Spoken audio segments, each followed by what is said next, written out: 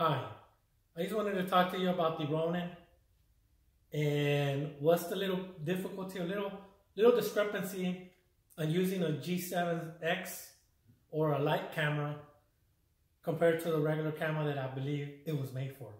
As you can see, this is the uh, 60D, uh, one of my other cameras. Well, I only have two, but this one, as you can see, it's bigger. And it's not only bigger, it weighs a lot. It, weighs not a lot more, but it weighs more.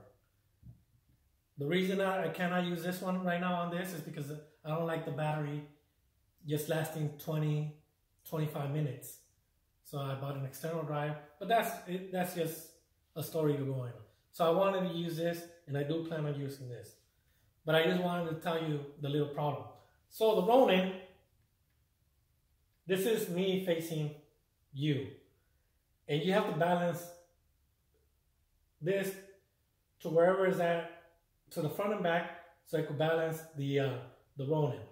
Then you gotta balance it sideways, uh, up and down. No, you gotta side the side one. As you can see, the side one, I cannot. This is right now.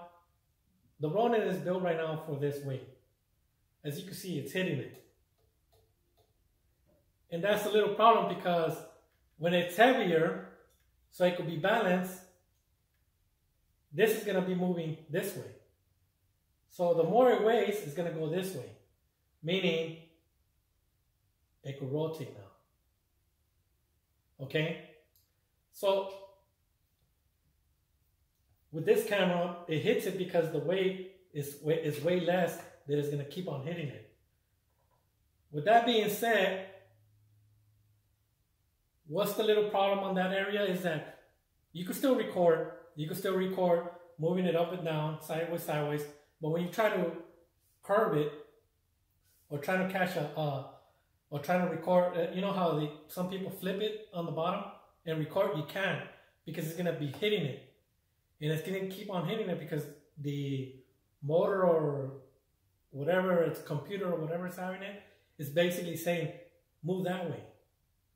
And the only way it won't move again, because I'll show you the recording, I I did curse, that's why I'm gonna put it on mute on that part. And you can see where I'm hitting it. And I started like, you, you don't wanna keep on going that way because it's gonna keep on hitting. So you try to move it back until it balances so it won't hit it no more.